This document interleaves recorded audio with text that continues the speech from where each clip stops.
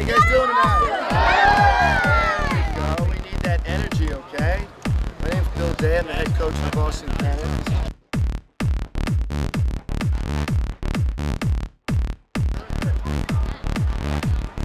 So what we're gonna do is we're gonna talk about footwork. Anybody else? Somebody show me a good position. Yeah, to the other side. Straight at Drew. Target. We're standing, we're stepping, pulling our butt on that target, and we're snapping our wrist down. The thing with this is that you push it out, you one-handed pass it. Hands on that. Good job. Good job. All right, guys. Now, it's a ticket. My name's Ben Hunt. I'm on the Chesapeake Bayhawks. Main thing I try and emphasize when I talk about shooting is keeping our hands up and away from our body. Yo.